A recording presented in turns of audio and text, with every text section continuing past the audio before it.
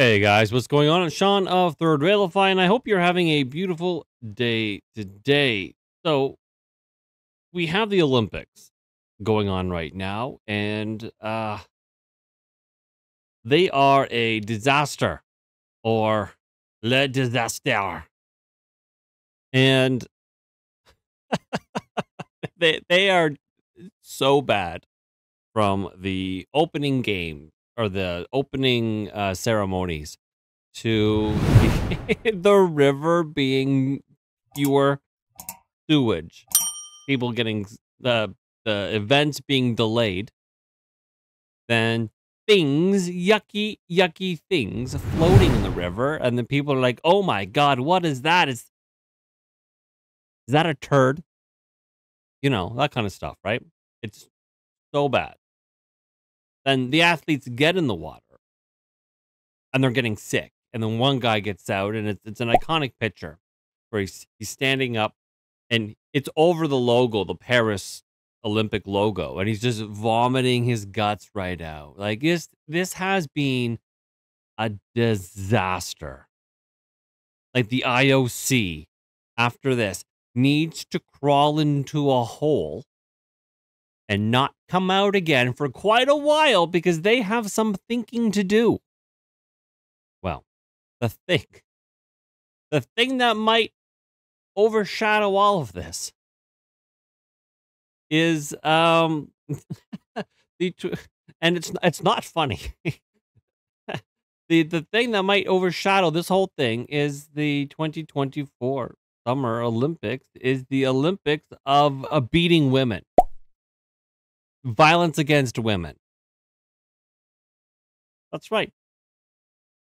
The the amount of trans athletes is greatly reduced.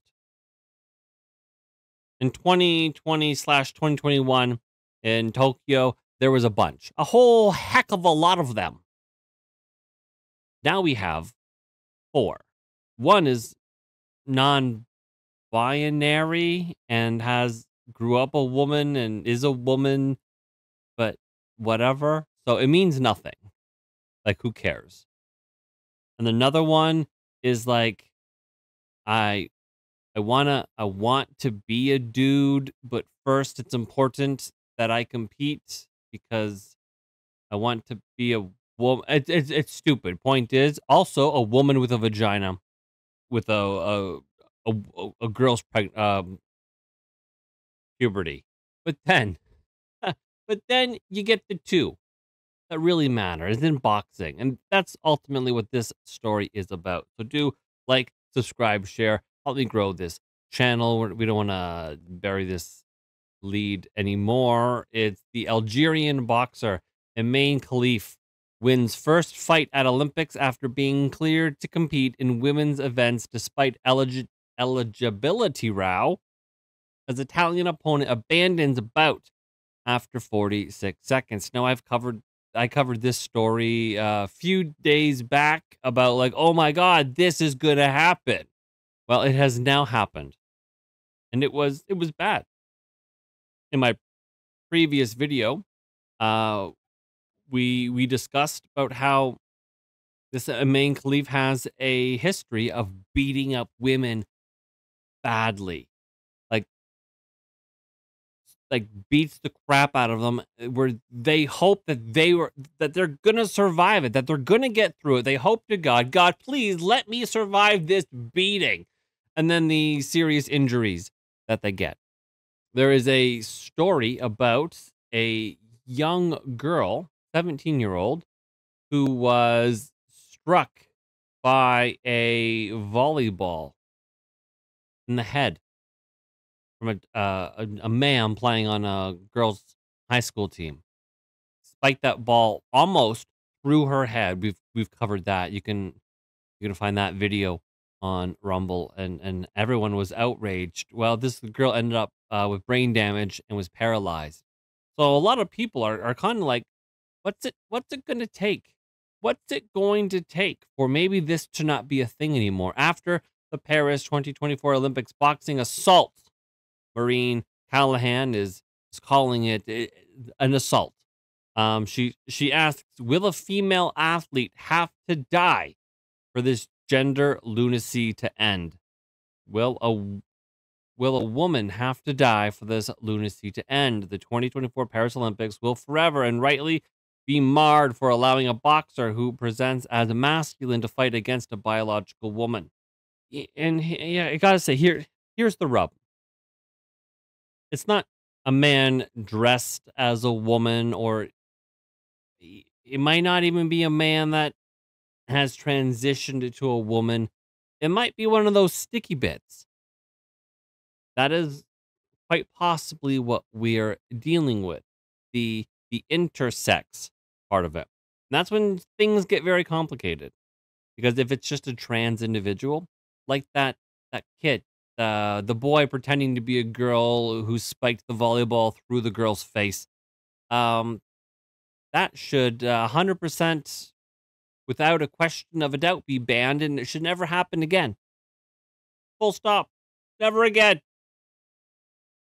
this one gets a little more difficult, I think, which you should do all the commenting below to, to tell me your thoughts on the, the complexity of it. Because as of all interesting things, this one's not black and white. So, Maureen goes on to say that female boxer, uh, Italy's Angela Carini, took a brutal blow to her nose before ripping off her helmet and ending the match in just 46 seconds. Her rival, the Algerian Imane Khelif, towered over her, biceps bulging. This is true. Literal man arms. Khelif failed two sex tests in March 2023 and was banned by the International Boxing Association for competing against women. This is unjust, Carini howled. Yes, that's the perfect word. Unjust. So that's most of the, the details about it. That she won the first bout in 46 seconds after Carini abandoned the match. Some very serious blows to the head that really you could you could just I'll, I'll play the uh, the video. It cranks her head like right like this, and then you could see she was like, I can't, I can't survive that kind of onslaught because that's not the biggest and that's not the best this person has to offer. I won't survive it. Carini was punched twice by Khelif in the opening round of their women's welterweight bout in Paris. The blows appeared to knock off the Italian boxer's chin strap, with the fighter moving over to her corner.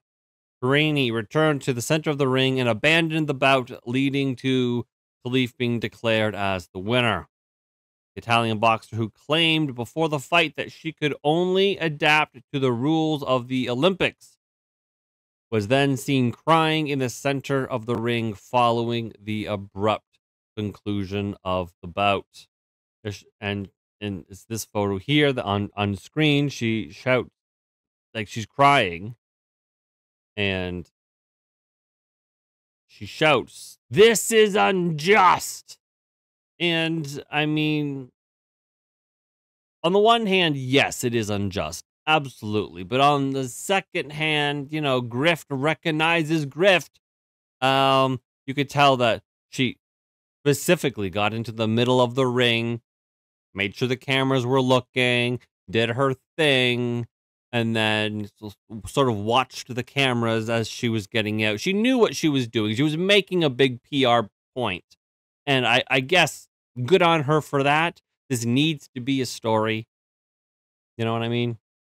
I went into the ring to fight. I didn't give up, but I but the punch hurt too much, and so I said enough.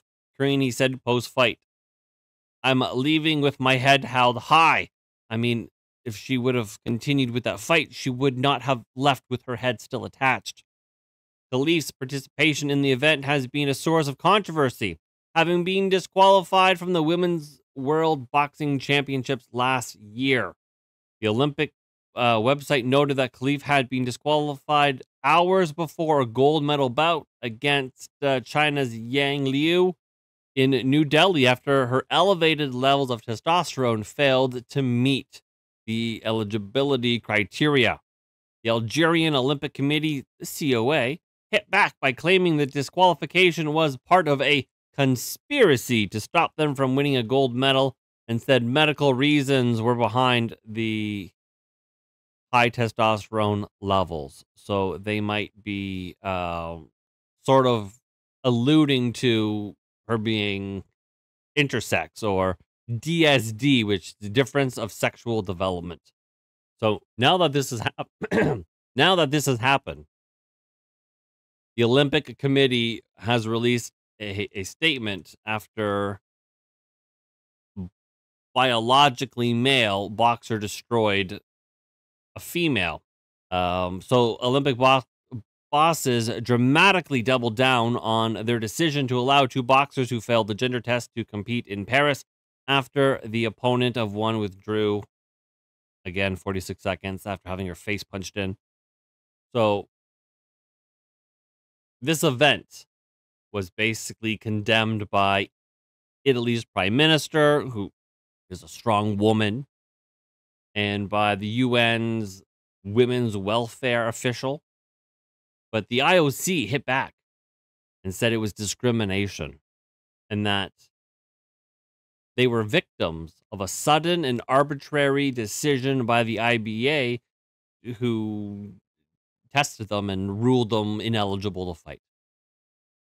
So the IOC is effectively is righting that wrong of injustice. It's like, bros, IOC bros, you're letting women get punched in the face by lunchboxes. Like the fists are like lunchboxes. Like, what are you doing? We we had this once in the UFC when Fallon Fox broke a woman's skull.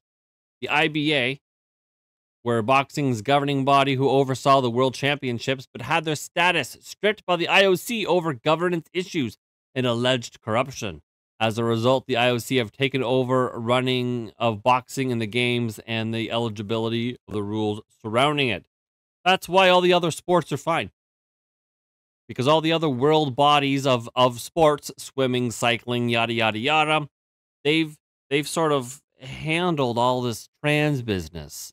But The IOC, the very woke IOC, they're running boxing because they feel the the the world body of boxing is just not up to the job. So of course you get these shenanigans. So the IOC basically said, listen, their passport has female on it. What do you want us to do? They checked that box. That box is it. What do you want us to do? They got a passport. It says female. Every person has a right to practice sport without discrimination. Uh, yeah, that's yeah. they're they're they're they're they're doubling down. It, but the world sees it like this. So up top we have the the classic South Park episode of uh macho man identifying as a woman beating women and then what we witnessed